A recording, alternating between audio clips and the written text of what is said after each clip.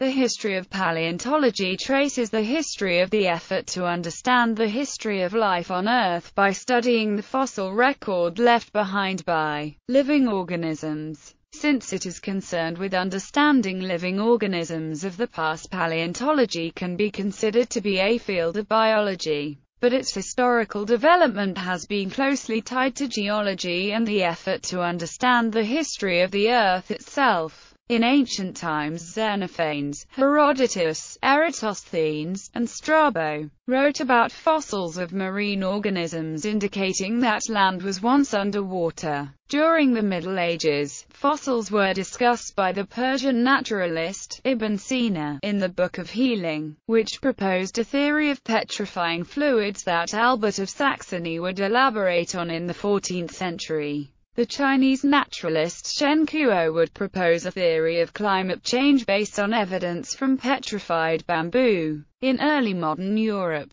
the systematic study of fossils emerged as an integral part of the changes in natural philosophy that occurred during the Age of Reason. The nature of fossils and their relationship to life in the past became better understood during the 17th and 18th centuries and at the end of the 18th century the work of Georges Cuvier ended a long-running debate about the reality of extinction and led to the emergence of paleontology in association with comparative anatomy, as a scientific discipline. The expanding knowledge of the fossil record also played an increasing role in the development of geology, particularly stratigraphy. In 1822 the word paleontology was invented by the editor of a French scientific journal to refer to the study of ancient living organisms through fossils and the first half of the 19th century saw geological and paleontological activity become increasingly well organized with the growth of geologic societies and museums and an increasing number of professional geologists and fossil specialists.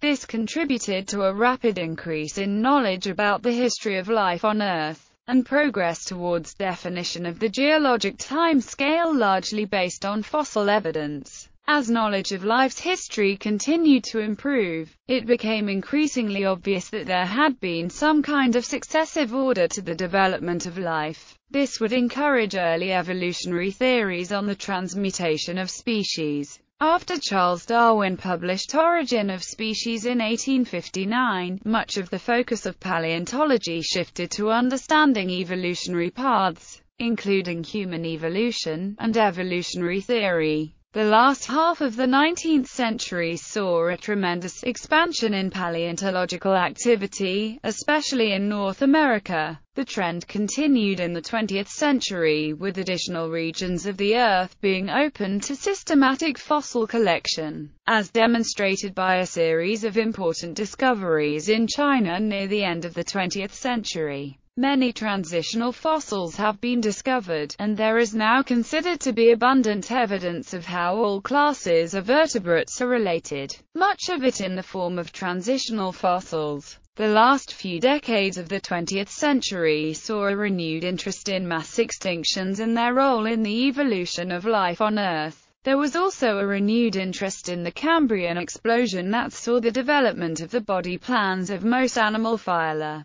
The discovery of fossils of the Ediacaran biota and developments in paleobiology extended knowledge about the history of life back far before the Cambrian. Prior to the 17th century, as early as the 6th century BC, the Greek philosopher Xenophanes of Colophon recognized that some fossil shells were remains of shellfish, which he used to argue that what was at the time dry land was once under the sea. Leonardo da Vinci, in an unpublished notebook, also concluded that some fossil sea shells were the remains of shellfish. However, in both cases, the fossils were complete remains of shellfish species that closely resembled living species and were therefore easy to classify. In 1027, the Persian naturalist, Ibn Sina, proposed an explanation of how the stoniness of fossils was caused in the Book of Healing. He modified an idea of Aristotle's, which explained it in terms of vaporous exhalations. Ibn Sina modified this into the theory of petrifying fluids.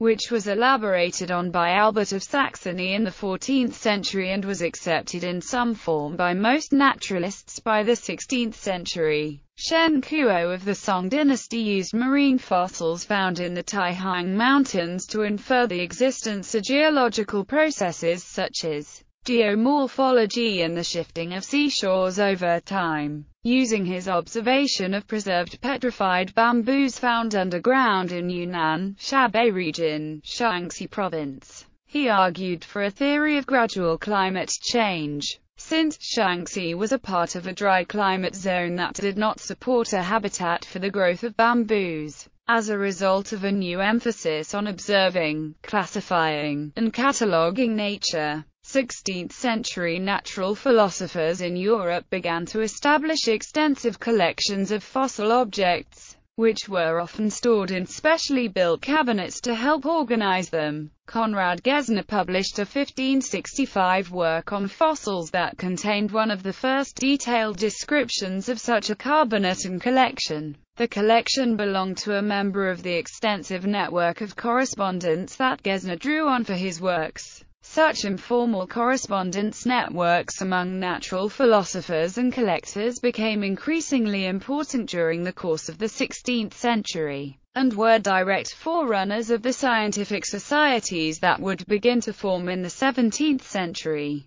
These cabinet collections and correspondence networks played an important role in the development of natural philosophy. However, most 16th-century Europeans did not recognize that fossils were the remains of living organisms. The etymology of the word fossil comes from the Latin for things having been dug up. As this indicates, the term was applied to a wide variety of stone and stone-like objects without regard to whether they might have an organic origin. 16th-century writers such as Gesner and Georg Agricola were more interested in classifying such objects by their physical and mystical properties, than they were in determining the object's origins. In addition, the natural philosophy of the period encouraged alternative explanations for the origin of fossils. Both the Aristotelian and Neoplatonic schools of philosophy provided support for the idea that stony objects might grow within the earth to resemble living things. Neoplatonic philosophy maintained that there could be affinities between living and non-living objects that could cause one to resemble the other. The Aristotelian school maintained that the seeds of living organisms could enter the ground and generate objects resembling those organisms. 17th century. During the Age of Reason, fundamental changes in natural philosophy were reflected in the analysis of fossils. In 1665 Athanasius Kircher attributed giant bones to extinct races of giant humans in his Mundus Subterraneus. In the same year Robert Hooke published Micrographia, an illustrated collection of his observations with a microscope. One of these observations was entitled, Of Petrified Wood, and Other Petrified Bodies, which included a comparison between petrified and ordinary wood. He concluded that petrified wood was ordinary wood that had been soaked with water impregnated with stony and earthy particles. He then suggested that several kinds of fossil sea shells were formed from ordinary shells by a similar process.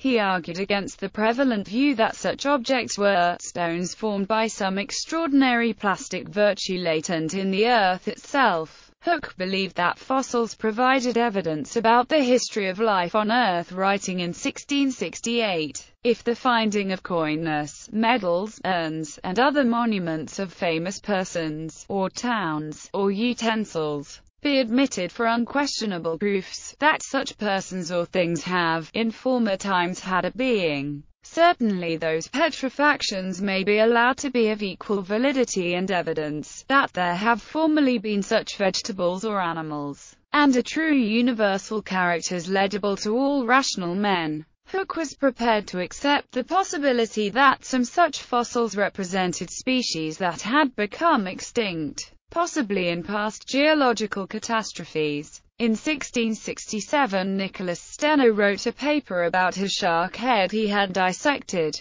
He compared the teeth of the shark with the common fossil objects known as tongue stones. He concluded that the fossils must have been shark teeth. Steno then took an interest in the question of fossils, and to address some of the objections to their organic origin he began studying rock strata. The result of this work was published in 1669 as forerunner to a dissertation on a solid naturally enclosed in a solid. In this book, Steno drew a clear distinction between objects such as rock crystals that really were formed within rocks and those such as fossil shells and shark teeth that were formed outside of those rocks. Steno realized that certain kinds of rock had been formed by the successive deposition of horizontal layers of sediment and that fossils were the remains of living organisms that had become buried in that sediment. Steno who, like almost all 17th-century natural philosophers, believed that the Earth was only a few thousand years old, resorted to the biblical flood as a possible explanation for fossils of marine organisms that were far from the sea. Despite the considerable influence of forerunner naturalists such as Martin Lister and John Ray continued to question the organic origin of some fossils.